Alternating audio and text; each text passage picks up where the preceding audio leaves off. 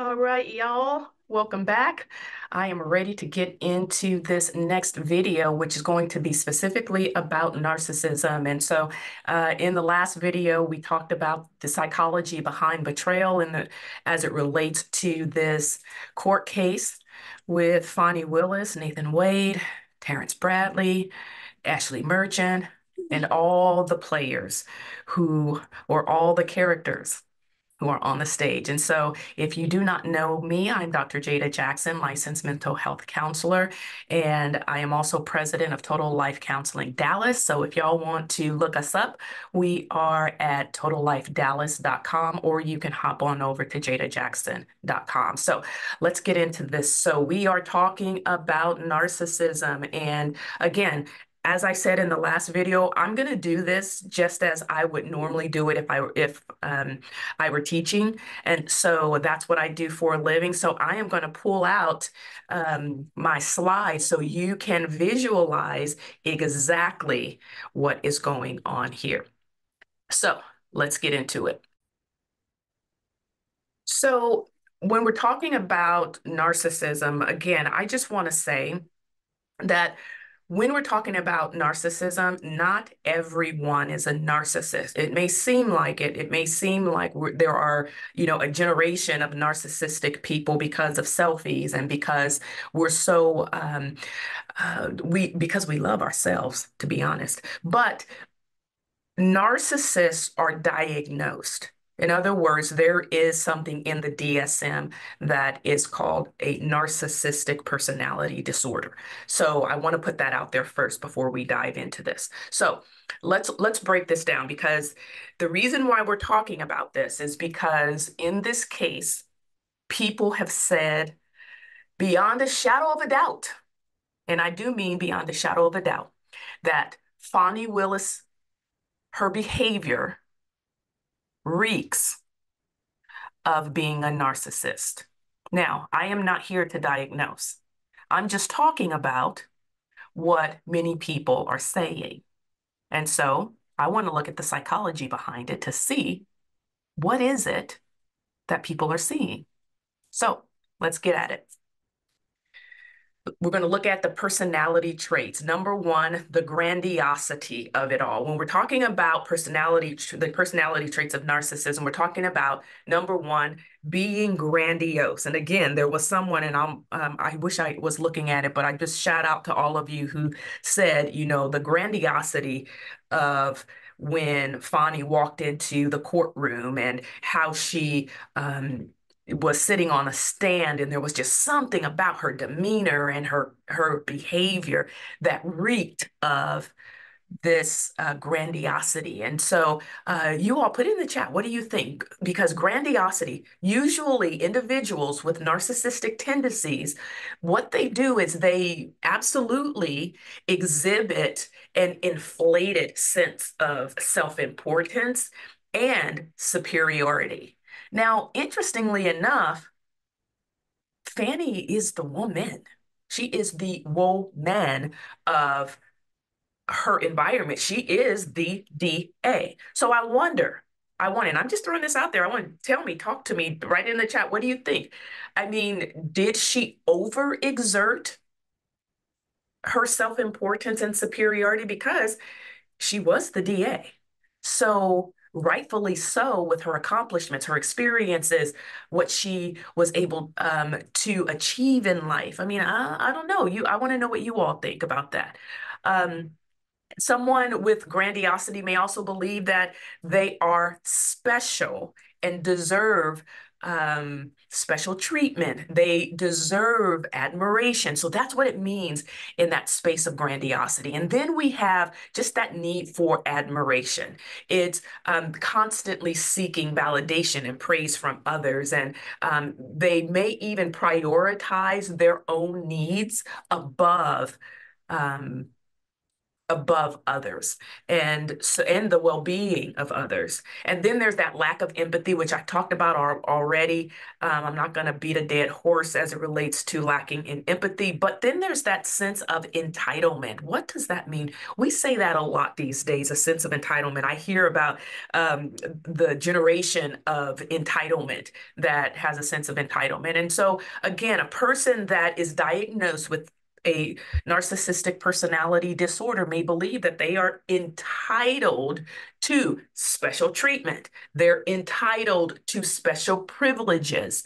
Um, and they may become violent, um, angry, frustrated when others do not concede to their needs. And so, again, there's a difference. So, those are the personality traits. Let's look Oh, and exploitive behavior. Forgot that one. So exploitive behavior, what does that mean? That means that um, usually narcissistic individuals may exploit others to achieve or get what they want, achieve their own goals, get what they want. Again, without regard for the feelings or well-being of the people they are ma manipulating. Now, let's move on to the behavioral um, patterns. What are we looking at here? Attention seeking. We all know what that is. Manipulative. Um, this is, I think this one is, I think we should really flesh this one out a little bit simply because when you're talking about manipulating another person, that means you really have to um, create a narrative. You have to have a strategic approach to manipulate somebody. You need to uh, create the the stage for it and get a person where they're most vulnerable. And you have to have certain data like certain information about a person. You have to to know the, the ins and outs of that person, all that sneaky stuff in order to manipulate um, someone. And so they may use manipulation or uh, forms of uh, certain tactics, such as being charismatic, charm, flattery. Um, on the opposite end of that spectrum, they may use intimidation. Um, they may uh, try to control people just to get exactly what they want.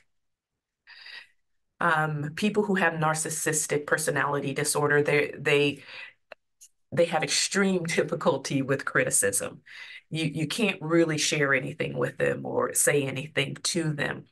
Um, they they have what what's called a, a fragile self-esteem or um, self-concept.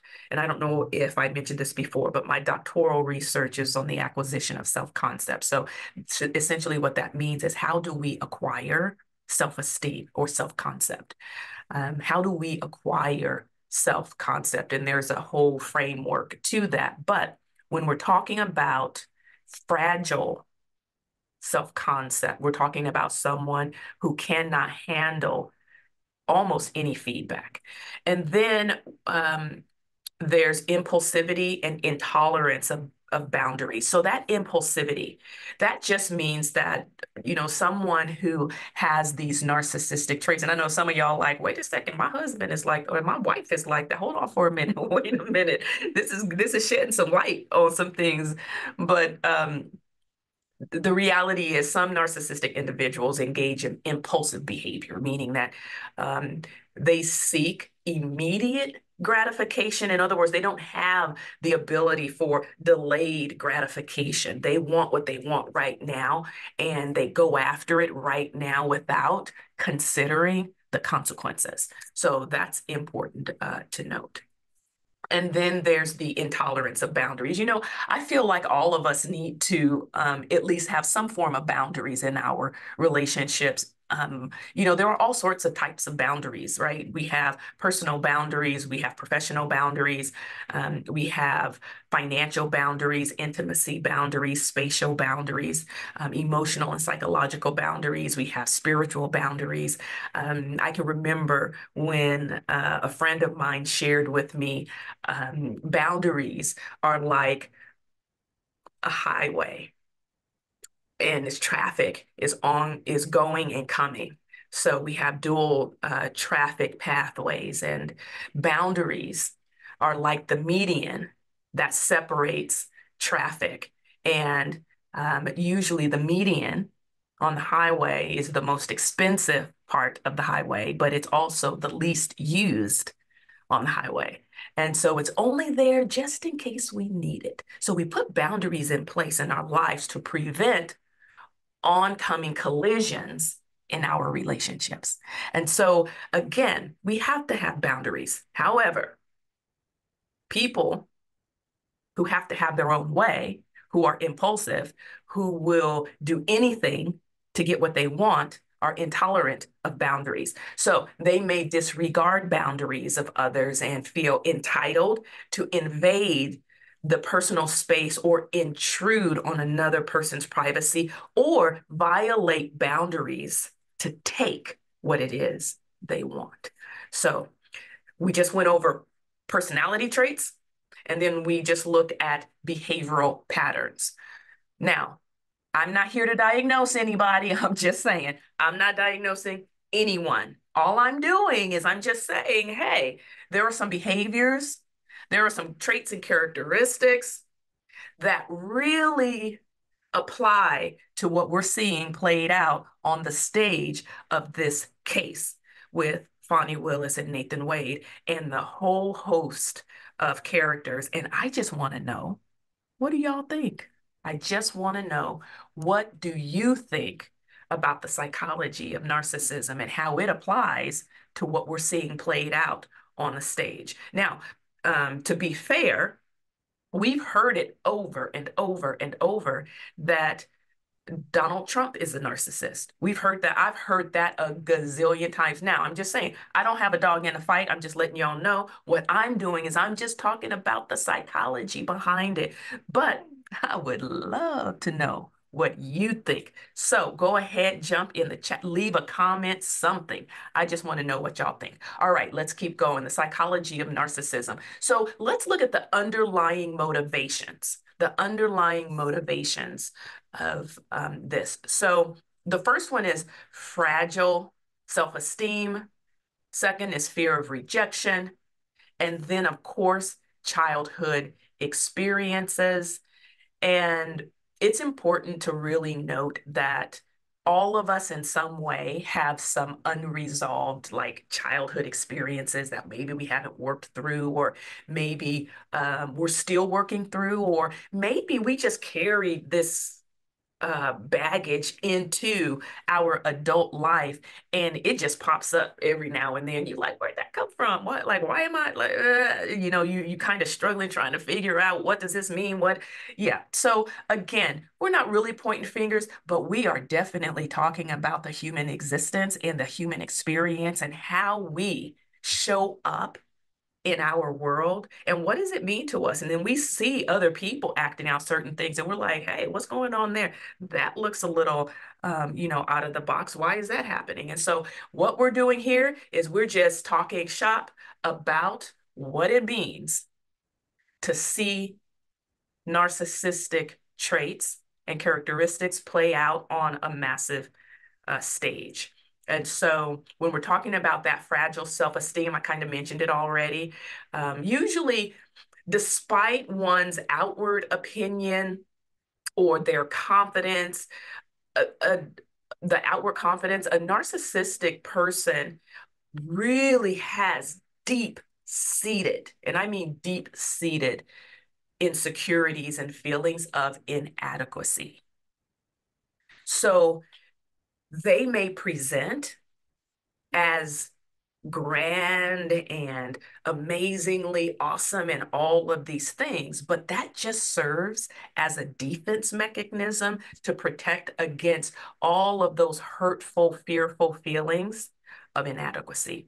And then the fear of rejection, of course, um, someone who's diagnosed with uh, narcissistic personality disorder um, may um, have an intense fear of being rejected, or here's another one the fear of being abandoned. Now, we haven't talked about abandonment issues, y'all. We have not talked about abandonment issues yet. We did talk about attachment, insecure attachment, but abandonment and attachment, there's, and maybe we'll do a video on abandonment and attachment. I won't take a deep dive here, but um, there's some juicy details when we get start talking about abandonment issues. So what they, what a narcissistic person does is they will use their narcissistic traits as a way to protect and shield themselves from a perceived threat to their worthiness or to their self-worth. So they may come out swinging with everything that they have just to protect their uh, facade.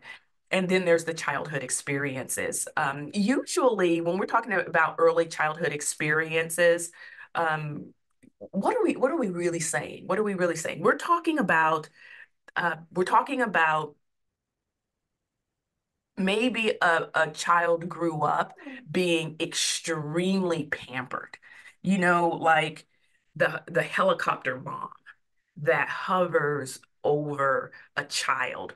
You think you may be protecting the child. You think you may be doing all the right things for the child, but really that can be damaging behavior to the child. And we get into child psychology later, but it could be excessive pampering or excessive neglect. And so that may contribute to uh, some narcissistic tendencies. And then on the flip side of that coin, uh, traumatic experiences or a lot of criticism during um, childhood may also play a role. Now let's get into the final element here, which is impact on relationships. How does narcissism impact relationships? Of course you have difficulty maintaining them. Yeah, if you're manipulating and uh, doing all sorts of ridiculous things to get what you want at the expense of others and causing extreme harm to someone else, of course, it's going to impact relationships and it'll be difficult maintaining those relationships. Why? Because narcissistic individuals have a tendency to be self-centered, to lack empathy, and have the inability to consider. Now, hear what I said. The, the inability to consider the needs of others. So if you're in a relationship with someone who has these narcissistic tendencies, it's not that they don't want to, they have they are incapable of. So the cycle of idealization and devaluation. What does that mean? So let's look at the romantic relationships here.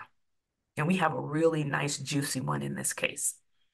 So in romantic relationships, a narcissistic person may idealize their partner initially, but then devalue them when they fail to meet the unrealistic expectation of the narcissist. And then that begins a cycle of behavior of idealizing someone and then devaluing someone.